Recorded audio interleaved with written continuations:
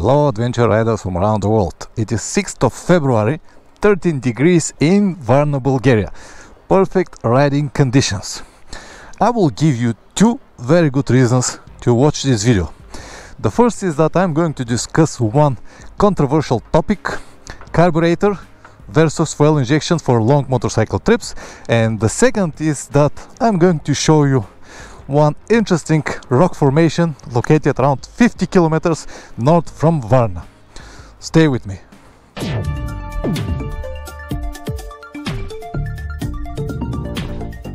Welcome back. If you don't know me, my name is Pavlin and I'm a motorcycle traveler. In this channel I usually upload anything related to long motorcycle trips, so you might consider subscribing. Before I start with the important part of the video, let me explain what is the difference between these two systems. By the way, this is the famous resort Golden Sands. It's completely different picture in the summer because it's full with people, but it is also nice to see it now. Alright, what is the difference between carburetor and fuel injection? Uh, I will try to explain it as simple as possible considering that my language skills are not that great. The carburetor system is very simple it's rely on the air pressure. What basically happens is every time when the piston go down it actually sucks the combination of air and petrol into the chamber. And when the spark lighten it it actually run your engine. Very very simple system. It works for many years and uh, it works in 95% of the time. On the other hand the fuel injection system is a little bit more complicated. It requires power. It has these injectors or jets whatever the right name it is it has a fuel pump and it's not rely on the air pressure because it makes its own pressure. This makes it a little bit more complicated and of course more efficient but we're gonna talk about it later. The usual advice that you're gonna hear from 90% of the long distance riders especially my generation or older is that nothing is better than carburetor because as I said it is very simple system it does not require any expensive parts and it could be fixed almost everywhere around the world. On the other hand, fuel injection system is more complicated. It cannot be fixed on the road. You need some expensive parts like an injector, you need a ECU, you need a fuel pump and many more. And this is also absolutely correct. I fully agree that uh, broken fuel injector or ECU cannot be fixed on the road, no doubt about it. I also agree that the carburetor system is much more simple and everywhere around the world you can fix it. No doubt. But there is one big but. As I told you guys many times, everything what you say before but is shit. Everything what you're gonna say after but is what really matters. Alright, let's dig deep into the facts once again and see what we can learn from it. The very first, you can fix carburetor everywhere around the world. That is true, but I have a question for you. Can you do it? 90% of the riders have no idea how to fix their carburetors. If for any reason you know how to do it, you're from 10% of the riders. The second question that I have, can you adjust the carburetors or so-called synchronizations? If you have two or more cylinders, you will have two or more carburetors. And once per 20, 30 or 50,000 kilometers, you need to synchronize them, otherwise they won't work properly. Once again, 90% of the riders cannot do it the third point that came into my mind now is that let's say you have a bad fuel. It has uh, sand or dust on it and you have to clean the carburetor. But the question is can you do it alone? Once again 90% of the riders cannot. They will need help. In all of these three scenarios you will need help unless you're from this 10% very skilled mechanics. All right? But when you have help, when you have a garage mechanic friend or someone who know what he is doing, then even the fuel injection is not a problem. I hope that you get the idea. By the way, this is already Balchik, very beautiful coast town located around 40 kilometers north from Varna. This is the beach area. Uh, I hope we'll be able to find something to eat. I know that the restaurants are closed, but at least maybe to grab something. Let's try. Quick shot from Balchik and its beach area. Beautiful place. I really love it. Until we're still on the topic, let me tell you something else. Yes, you can fix carburetor almost everywhere, but you need spare parts. Unless you have with you your jets, your membranes or everything that it's possible to fail on a simple carburetor. But if you have a spare parts with you, with your injection system, you can fix it as well. For example, you can have a spare injector, which is that big, like your finger. You can put it everywhere. You can have even a fuel pump. Yeah, it's a little bit bigger, but it's not a big uh, brain game to change it. Even you can do it if you have to. This is the first option if you have a spare parts with you. If you don't have it, you have to order it or they need to be shipped from somewhere. So it doesn't matter what you're gonna order, a fuel pump or simple jet, you will need a technical delivery time. So it's about the same. And finally, when you have it, if you cannot change it, if you cannot fix it, you need to pay to the mechanic. And when you pay to the mechanic, it's not going to be a big difference to change your injector or your jets in your carburetor. This is a very popular restaurant here in Balchik. Of course closed because of pandemic, but we managed to get some takeaways. So we have nice food and beer. Excellent. Cheers my friend. Cheers. All right, what I just did is to give you a different point of view on the pros of the carburetor system. And there are many cons. Let's start to discuss it. Number one, it's maintenance. It requires maintenance. As I said, every 20, 30 or maximum 50,000 kilometers, you have to clean the carburetor, you have to adjust, synchronize carburetors if you have more than one. And you cannot escape from that. This is like a must. You have to do it. Otherwise, your motorcycle is not going to work properly. But let's see something else, something more problematic, if I want to say. Number one, elevation. As we discussed already, the carburetor works on the air pressure. And when the elevation is different, when you have a high elevation, the thickness of the air is different and this got a direct impact on your carburetor. With the simple words, it doesn't work or it works on 20-30% of its uh, capacity. What you have to do to stop and adjust it if you know how. But let me give you another one example with my riding friend Dima. We were in Pamir Highway riding at around 3500 meters above the sea level and of course the the air was uh, not that uh, thick so we need to adjust the carb. And before the trip I asked him do you know how? And he said yeah yeah yeah. My mechanic showed me what bolts I have to twist and everything is going to be alright but when the moment came we spent around half an hour trying to fix the carburetor or to adjust the carburetor. And finally instead of adjust it for air we made it even worse because he couldn't remember which bolts where exactly he needed to turn and many more like this so finally we finished doing nothing and the result was that on the top of Akbaital he needed to ride on the first gear. Very very slowly.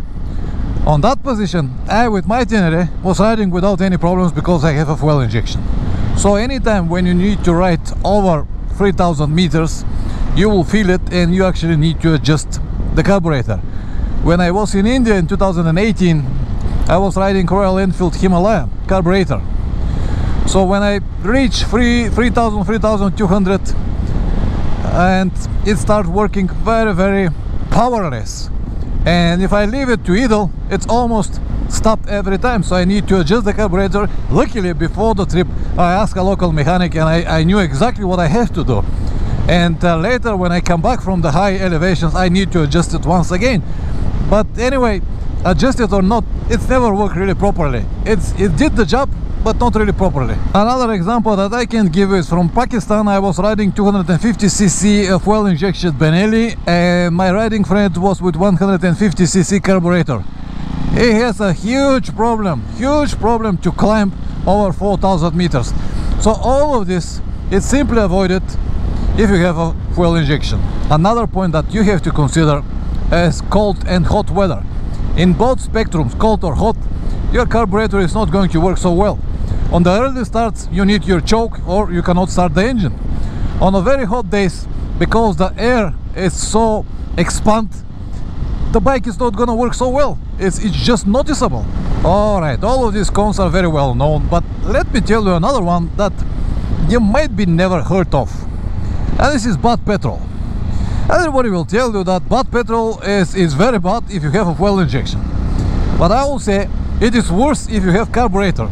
Because every fuel injection system got a fuel pump. Every fuel pump got a filter inside of the tank which is mean that almost nothing goes into the fuel pump and from there into the injectors.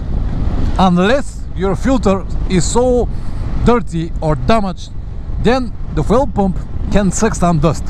But it is not the same with the carburetor. It's a straight line from your tank to your carburetor unless you fix by yourself a filter which I have seen to many bikes but not on every bike. So again in case of bad petrol the fuel injection will be way better. Because when I was in uh, Pamir highway I was feeling so bad petrol most of the time like 83 86 octans. And the bike just worked. Yeah the power was different. The uh, engine was knocking all the time. But the bike was working even with the worst petrol that you can imagine. Filled from uh, big petrol tanks with a glass jar and nothing like the petrol station we've got here. But one way or another I went through without any problems. This is beautiful road. Have a look the coast. Wonderful. All right. All of these were the cons of the carburetor but let's see what are the cons of the fuel injection system. Just a second. Oh man. I love this place. I love it. So it looks like all of the cons of the carburetor are like a pros for the fuel injection system the main downside or the most popular beliefs that most of the riders got about the fuel injection system is that it might stop on the road and you won't be able to continue your trip. But I have a question for you once again. Have you ever heard for a failed injection system? And let me tell you something. Modern fuel injection systems are extremely reliable. The reason why most of the people are afraid because they still consider it like something new. And they don't trust this new system. But this system actually is not new at all. The first fuel injectors are made in the 1911 and then in the 20s 30s from the 40s and 50s they already installed in many different machines uh, include cars and um, airplanes and many more. And in the last 20 30 years you can't even find a car or motorcycle without a fuel injection system. So they're extremely reliable extremely reliable. But even if this is still the main con even if you stop on the road there is still way to fix it. What I plan to do now for example on my trip to Magadan to take with me a spare injector and spare fuel pump. And this will give me the chance to rebuild it on the road if I have to. And I'm gonna take it with me because my engine got so many kilometers. If I've got a new engine I won't consider even that as I did it for so many trips I never worry about it. And my motorcycle got 160,000 kilometers. So to say that fuel injection system is not reliable and you can stop on the road it's just not serious. You can have far more problems with a carburetor than you can have with a fuel injection system and before we close this topic, we have to discuss something else, and it is efficiency. Fuel injection motorcycles are way more efficient than the carburetors and everybody know that. Even the kids know that if you have a fuel injection your motorcycle will use less petrol it will run better in any kind of weather conditions. You don't need to worry about choke and, and stuff like that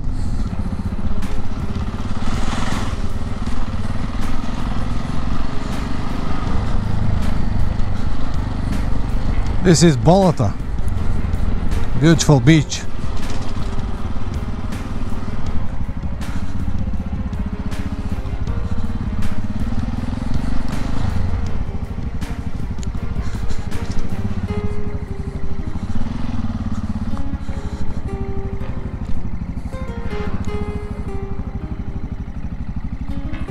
What a spot.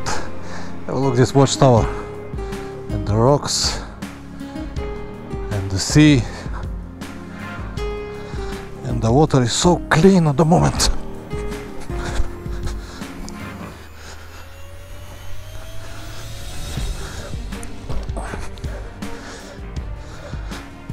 And now have a look how waterproof are my boots. Still after more than a year a serious use good job Revit good job. Oh what a place. In my last video air-cooled versus liquid-cooled engine I asked you a very simple question. If the air-cooled system is so good why 95% of the new motorcycles comes with liquid-cooled system? And even those motorcycles maybe 5% that still comes with uh, air-cooled engines will perform better if they have a liquid-cooled system. And now in this video I can ask you the same question. If the carburetor system is better why 95 98% of the modern motorcycles comes with fuel injections? Only a few very rare models that are usually Chinese bikes or whatever low-cost bikes are possible to come with uh, carburetors and you will probably give me the same answer that you gave me in the last video. Because of the emissions because of the environment and stuff like that. But I'll tell you guys if there is a demand there will be a supply. If people ask for carburetors they will make it. So the market is very simple. When people ask for something the manufacturers usually give it to them. So in my opinion of course this is only my opinion but the fuel injection system got many more benefits. It's like a like a GPS and paper map. Most of you know and understand that paper map is trouble free but because the GPS give you so many different benefits so easy to use that all of us use it one way or another. And now this is the place that I have promised to show you. The famous rock formation the name of this village is Tulenovo Tulen means seal on Bulgarian language. And many years ago there were seals here in this spot. Not anymore because the climate changed but it was a fact.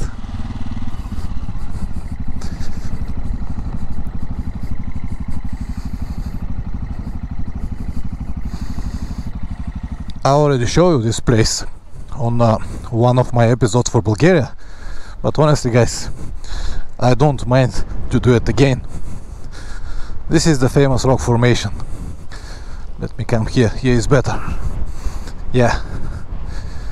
Wonderful. Just wonderful. So I hope that this video will be useful to at least one person to learn something new and make the right choice. If you want to know more about long motorcycle trips check the rest of the videos on the channel. I have more than 600 already. If you want to learn but you don't have the time you might consider joining my online course. All the details you can find in the description down below. Always ride safe and see you next time. Ciao